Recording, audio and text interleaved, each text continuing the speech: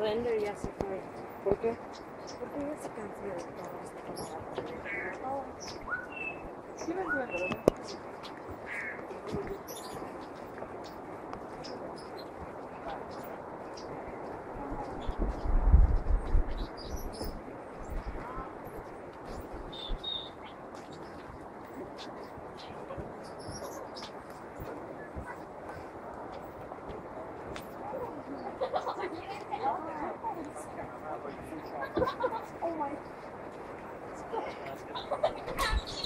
¿Quién es Slender?